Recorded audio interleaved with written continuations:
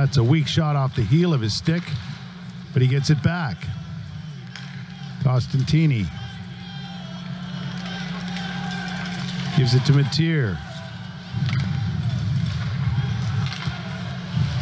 Laforme is in front. There's a shot. Matier scores.